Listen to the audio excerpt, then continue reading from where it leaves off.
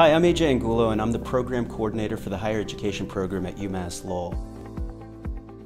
One of the things that we have is an opportunity for students to explore advanced thinking about higher education, but we also give them an opportunity to think about the practices, the things that they need to be successful in their day-to-day -day jobs as professionals in higher education. I've thoroughly enjoyed my time in the program. Uh, the classes have been phenomenal in preparing me for going out and searching for a job. Uh, I specifically teach managing change and conflict to our higher ed students. They are serious. Um, they come to class with a, um, a sense of urgency. And this program has also helped to shape my future career goals.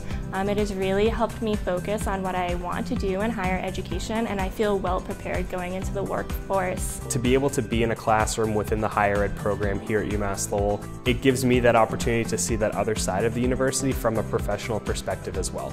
When we began the higher education master's degree, we knew there'd be loads of opportunities for careers for our students. Areas such as student affairs, counselling services, the registrar's office, human resources.